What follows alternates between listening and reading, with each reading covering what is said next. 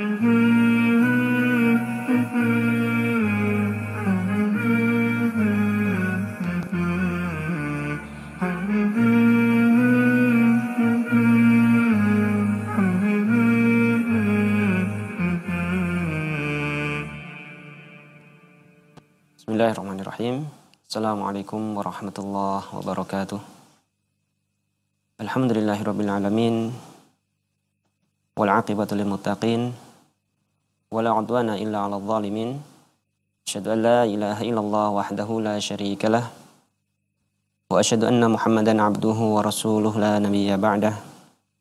Allahumma la 'ilma lana illa ma 'allamtana. Allahumma 'allimna ma yanfa'una wa zidna 'ilma. Wa aslih lana sya'nana kullah wa la takilna ila anfusina tarfata 'ainin. Pemirsa yang Allah Subhanahu wa taala muliakan, kembali kita dalam program acara kisah Nabi dan Rasul, suatu kisah yang dengannya kita diharapkan untuk bisa mengambil pelajaran, faedah dan teladan dari para nabi dan rasul kaum muslimin yang dirahmati Allah Subhanahu wa taala. Kita masih pada kisah Nabi dan Rasul Hud alaihissalam.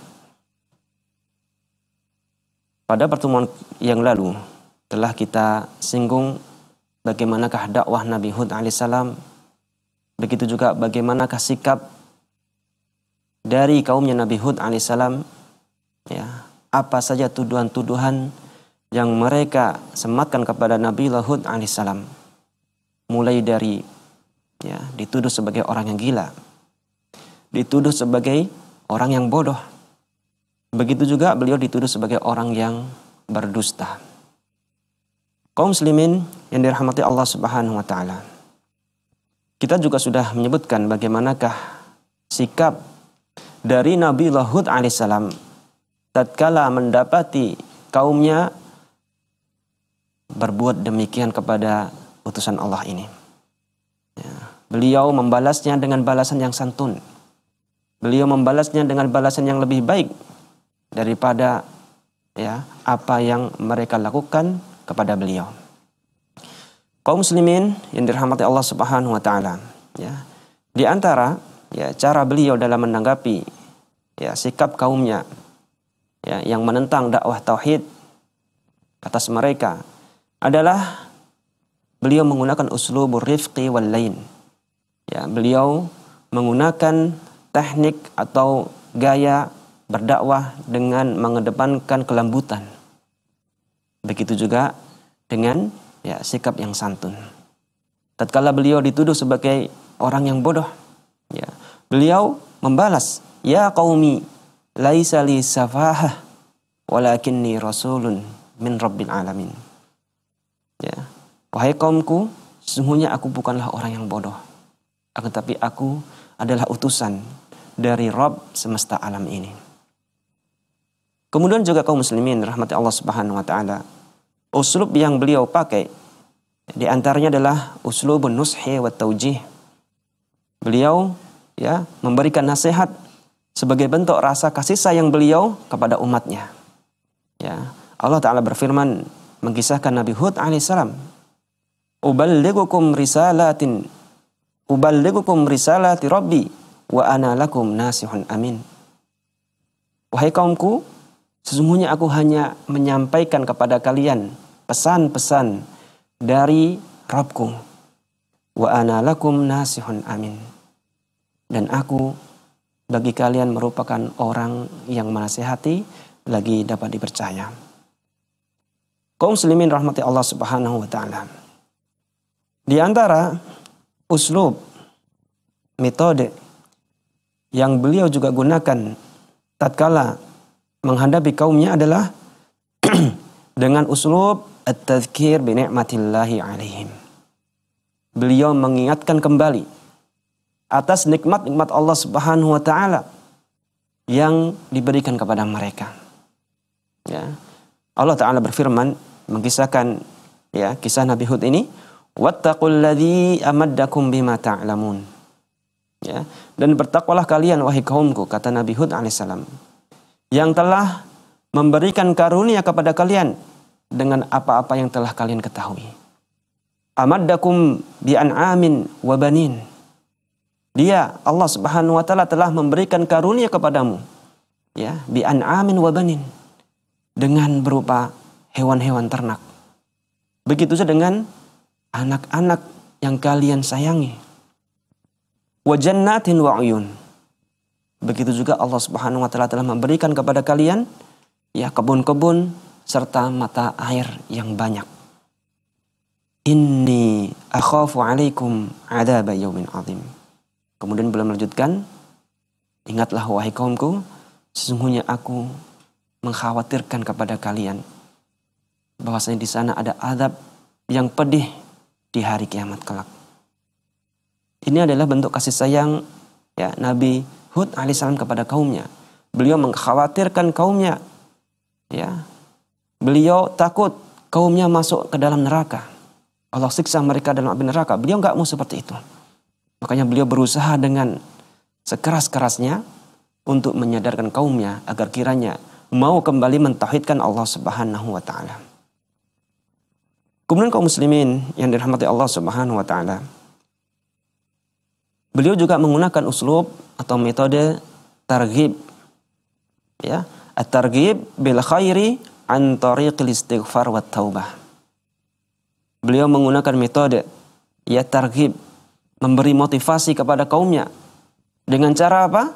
Dengan cara meminta mereka untuk beristighfar kepada Allah dan bertaubat kepada Allah Subhanahu wa taala. Ya. Allah taala berfirman, "Wa ya qaumi rabbakum tubu ilaihi yursilis samaa'a 'alaikum midrara wa yazidukum quwwatan ila quwwatikum.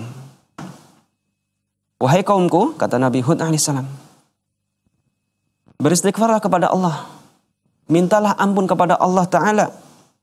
Ya. Thumma tubu ilaih. Kemudian bertaubatlah kepadanya. Yursilis sama'a alaikum. Maka Allah Subhanahu wa taala akan menurunkan dari langit hujan yang sangat deras. Wa yazidukum quwwatan ila quwwatikum dan dia juga akan menambahkan kekuatan yang lebih dari kekuatan yang telah kalian miliki saat ini. Kaum muslimin rahmati Allah Subhanahu wa taala. Inilah di antara metode yang digunakan Nabi Hud alaihissalam tatkala mendakwahi kaumnya. Lantas bagaimanakah sikap kaum Ad? Sikap kaumnya Nabi Hud ini tatkala beliau menggunakan berbagai macam cara untuk mendakwai mereka? Insyaallah kita akan kembali mengkisahkannya setelah jeda yang berikut ini.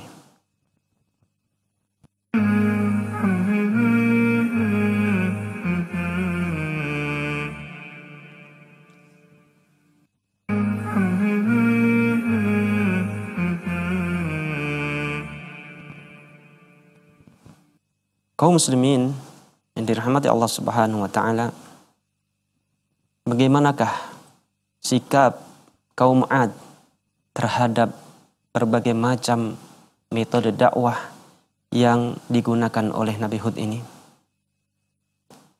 Pemirsa yang Allah Subhanahu wa taala muliakan. Tatkala kaum Ad ya, mendapati ada seorang yang senantiasa mengajak mereka untuk mentauhidkan Allah Subhanahu wa taala, memalingkan dari sembahan yang batil kepada sembahan yang hak, mereka ya membalas dakwah dan seruan Nabi Hud alaihissalam ini dengan cara yang kita anggap sangat aneh. Apa itu? Mereka malah ya membina Nabi Hud untuk disegerakan adab kepada mereka. Oleh karena itu kaum muslimin rahmati Allah Subhanahu wa taala. Ya, mereka mengatakan, "Qalu ajitana lita'fikana an alihatina Fa'tina bima ta'iduna in kunta minas sadiqin. Mereka kaum Ad alaihissalam.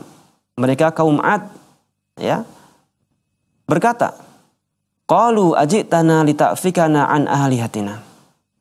Ya, apakah engkau datang Yahud? Ya, engkau datang kepada kami untuk memalingkan sesembahan-sesembahan kami Fa'tina bima ta'iduna in kunta minas sadiqin ya datangkan kepada kami apa yang engkau janjikan berupa adab in kunta minas sadiqin. Jika engkau termasuk orang-orang yang jujur. Jika engkau termasuk orang-orang yang benar dengan ancamanmu tersebut. Inilah sikap kaum Ad yang mana mereka membangkang justru malah menantang Nabi Hud alaihissalam untuk ditimpakan azab kepada mereka. Kaum muslimin rahmati Allah subhanahu wa ta'ala. Mendengar permintaan dari kaumnya ini. Nabi Hud alaihissalam berkata, Qala innamal ilmu indallah wa uballigukum ma ursiltu bihi walakinni arakum qauman tajahalun. Hud berkata, sesungguhnya ilmu tentang adab tersebut indallah itu ada di sisi Allah Subhanahu wa taala. Wa uballigukum ma ursiltu bih dan aku hanya menyampaikan kepadamu dari apa yang aku diutus dengannya. Aku hanya ingin menyampaikan kepadamu pesan-pesan dari Robku. Walakinni arakum qauman tajahalun. Kan tapi kaumku, ternyata aku melihat dari diri kalian ada sifat-sifat bodoh. Ya, walakinni arakum qauman tajahalun. Tapi aku melihat kalian ini merupakan orang-orang yang tidak mengerti, orang-orang yang bodoh. Kaum muslimin rahmati Allah Subhanahu wa taala. Kemudian Nabi Hud alaihissalam tatkala ya tetap mendapatkan ya tantangan dari kaumnya. Ya maka Nabi Hud pun akhirnya berdoa kepada Allah Subhanahu wa taala. Ya dengan perkataan beliau qala rabbin surni bima kadzabun. Ya Nabi Hud berkata wahai Rob tolonglah aku bima kadzabun. Ya dari apa yang telah mereka dustakan atasku. Mereka telah mendustakanku ya Rob mereka telah menolak dan mengingkari ajakanku ya Rob untuk mentauhidkan ibadah hanya kepadamu. Justru mereka malah menantang agar di, agar kiranya segera diturunkan azab kepada, mereka ya Rob. Maka tolonglah aku ya Rob. Kaum muslimin rahmati Allah Subhanahu wa taala.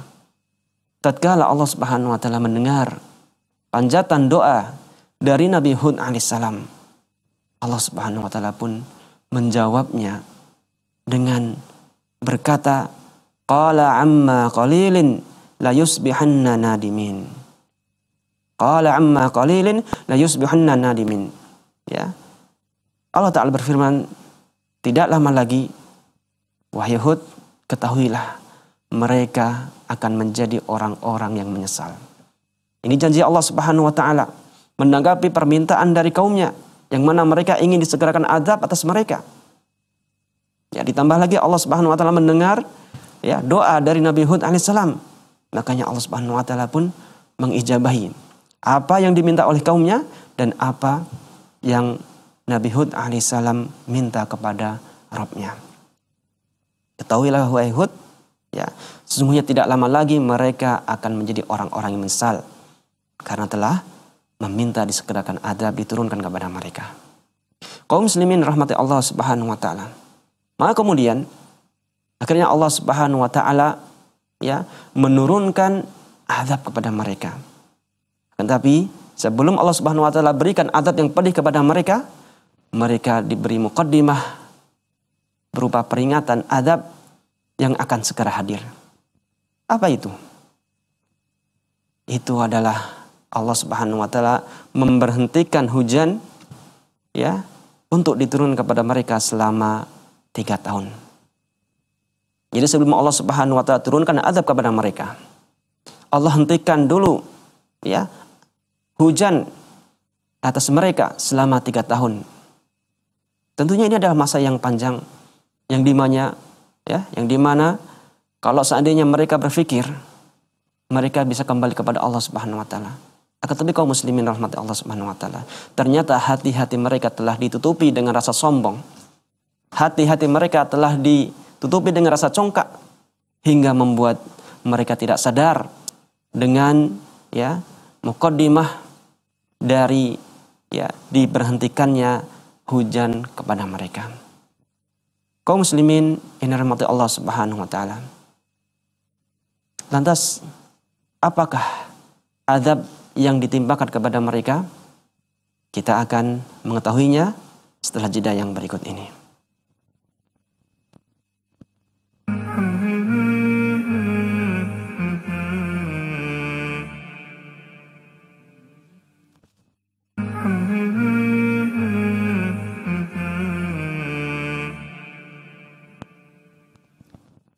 Kaum muslimin yang dirahmati Allah Subhanahu wa taala. Apakah azab yang pedih yang Allah Subhanahu wa taala timpakan kepada kaum Ad? Azab tersebut adalah azab berupa angin yang sangat kencang yang Allah Subhanahu wa taala timpakan kepada mereka selama delapan hari tujuh malam. Kaum muslimin rahmati Allah Subhanahu wa taala. Allah mengisahkan tentang awal bagaimanakah Allah Subhanahu wa taala turunkan azab kepada mereka. Falamma ra'awhu 'aridan mustaqbila awdiyatihim qalu hadha 'aridun mumtiruna. Ya, tatkala kaumnya Nabi Hud, kaum Lut, ya, ra'awhu 'aridan. Ya, mereka melihat ada segumpal awan yang datang ya di atas mereka. Ya. Awan tersebut berkumpul kemudian mendatangi tempat kediaman mereka. Qalu hadza 'aridun mumtiruna. Mereka berkata, inilah awan yang akan memberikan kita hujan yang deras. Mereka lihat begitu hitamnya awan di atas sana. Mereka menganggap bahwasanya inilah adalah awan yang akan menurunkan hujan untuk mereka. Apakah persangkaan ini benar? Ternyata persangkaan ini adalah salah.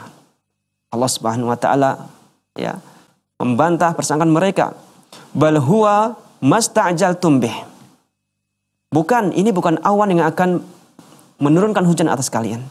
Bahkan ini adalah awan yang ya engkau minta disegerakan. Ini, ini adalah awan berupa awan azab yang mana engkau telah ya mintakan untuk disegerakan diturun kepada kalian rihun fiha adabun alim. Dan awan tersebut akan mengirimkan angin yang di dalamnya ada siksaan yang sangat pedih. Ya. Dari awan tersebut muncul angin yang sangat kencang yang mana dengan angin tersebut Allah Subhanahu wa taala siksa kaum Ad ya atas permintaan mereka sendiri. Tudammiru kulla syai'in bi amri rabbiha Angin tersebut menghancurkan segala sesuatu atas perintah dari Robnya. Fa'asbahu la yura illa, illa masakinhum. Ya, fa'asbahu la yura illa masakinhum. Eh, setelah angin tersebut diturun kepada mereka, ya, untuk menyiksa mereka, mereka pun ya binasa dan mereka tidak terlihat illa masakinhum kecuali hanya tempat-tempat tinggal mereka. Kadzalika najzil qaumal mujrimin. Demikianlah kita balas kaum yang melakukan kejahatan. Kaum yang enggan untuk mentauhidkan Allah Subhanahu wa taala. Kaum muslimin rahmati Allah Subhanahu wa taala. Inilah siksaan yang diturunkan Allah Subhanahu wa taala kepada kaum Ad. Kaumnya Nabi Hud alaihissalam karena mereka membangkang ya kepada nabi mereka.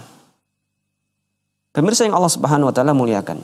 Di ayat yang lain Allah Subhanahu wa taala juga mengkisahkan tentang bagaimanakah Allah mengadab mereka. Allah taala berfirman, "Sakhkharaha 'alaihim sab'a layalin wa thamaniyata ayyamin husuma." Ya, Allah Subhanahu wa taala menundukkan angin. Kemudian ya, angin tersebut Allah perintahkan untuk ya menyiksa kaum Ad selama tujuh malam delapan hari. Dan itu selama ya seminggu kurang lebih selama berturut-turut. Ya, angin tersebut senantiasa berhembus menghantam ke kanan dan kiri dan membuat mereka terkapar dan angin tersebut ya berhembus selama delapan hari tujuh malam secara berurutan. Fataral qawma fiha sor'a maka engkau ya Muhammad melihat mereka binasa. Ka'annahum a'jazu nakhlin khawiyah. Seolah-olah mereka ini bagaikan ya batang pohon kurma yang telah lapuk. Akibat dari siksaan Allah Subhanahu wa taala yang diturunkan atas mereka berupa angin yang sangat kencang hingga membuat mereka porak-poranda. Pemirsa yang Allah Subhanahu wa taala muliakan. Ini adalah kisah yang diceritakan Allah Subhanahu wa taala dalam Al-Qur'an. Kita juga akan mengambil kisah bagaimanakah Allah Subhanahu wa taala mengadab kaumnya Nabi Hud ya dari kisah yang diriwayatkan oleh seorang ulama bernama Ibnu Ishaq yang mana beliau menukilkan dari kisah-kisah Israiliyat. Tatkala ya kaum Nabi Hud alaihissalam, yakni kaum Ad, ditimpa paceklik, tidak diturunkan hujan, negerinya kering kerontang. Selama tiga tahun, mereka mengutus 70 orang untuk pergi ke kota Makkah. Ya, kaum kaum Nabi Hud, yakni kaum Ad, mereka tinggal di Yaman. Tatkala mereka mendapati mereka sedang kesusahan, ya, mereka ingin berdoa kepada Allah, ya, dengan cara mengutus 70 orang untuk pergi ke Mekah untuk apa? Untuk melakukan istisqa. Untuk melakukan doa agar kiranya Allah Subhanahu wa taala turunkan hujan kepada mereka. Akhirnya mereka pun mengutus 70 orang dan 70 orang ini pergi ke kota Makkah. Sebelum sampai ke kota Makkah, mereka mampir ya di suatu rumah ya milik seorang bernama Muawiyah. Di sana mereka tinggal selama satu bulan lamanya. Kemudian mereka pun melanjutkan ya ke kota Makkah untuk berdoa kepada Allah agar kiranya Allah Subhanahu wa taala turunkan hujan ya kepada mereka. Sesamanya mereka di kota Makkah, mereka pun berdoa kepada Allah Subhanahu wa taala untuk diturunkan hujan. Akhirnya Allah Subhanahu wa taala turunkan ya tiga awan yang satu berwarna putih, yang satu berwarna merah, satu lagi berwarna hitam. Kemudian ya terdengarlah suara dari langit. Awan manakah yang engkau pilih? Ya, mereka memilih awan yang hitam karena mereka menganggap inilah hujan yang inilah awan yang akan menurunkan hujan yang sangat lebat untuk kaumku. Akhirnya apa kaum muslimin rahmati Allah Subhanahu wa taala.